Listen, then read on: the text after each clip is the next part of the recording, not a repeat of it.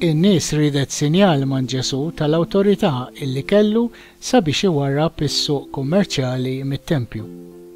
Ġesù iġibhom, skont il-Vanġelu ta' San Ġwann, Ħottu dan it-tempju u fi tlett ijiem nerġa' ntellgħu. Għalhekk il-Lhud qalulu, Dan it-tempju ħa sitta u erbgħin sena biex jinbena u int se ttellgħu fi tlett ijiem? Iżda, ikompli jgħid il-Vanġelu, hu tkellem fuq it-tempju tal-ġisem tiegħu.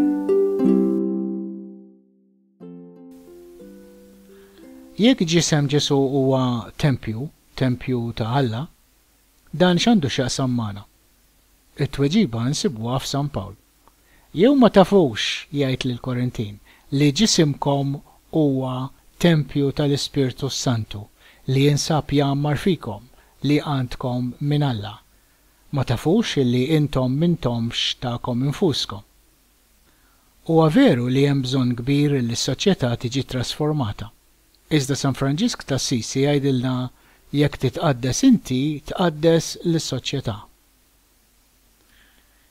Il-qdusija f'xi persuna tfisser preżenza speċjali ta' Alla fiha. Iżda l-fatt mhuwiex eżattament li persuna jirnexxielha tilħaq lil Alla, iżda li Alla jirnexxielu jagħmel inkarnazzjoni tiegħu fil-persuna. Din donnha xi ħaġa li Alla dejjem qed jipprova jagħmel. Sabiex ikun jista' jiġri dan, jeħtiġilna nżommu ruħna ndaf, friski u lesti, ippreparati. Santa Klara t'Assisi tħeġġeġ hekk, Morru fis-sliem, għax imxejtu mat-triq it-tajba. Morru mingħajr biża', għax hu li ħalaqkom takom il-qdusija, dejjem ipproteġikom u jħobbkom bħal omm. Imbierek int, Alla tiegħi, talli ħlaqtni.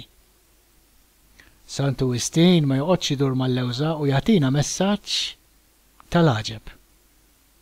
Ejjew inċapċpu niċċelebraw li sirna mhux biss insara, iżda sirna Kristu innifsu.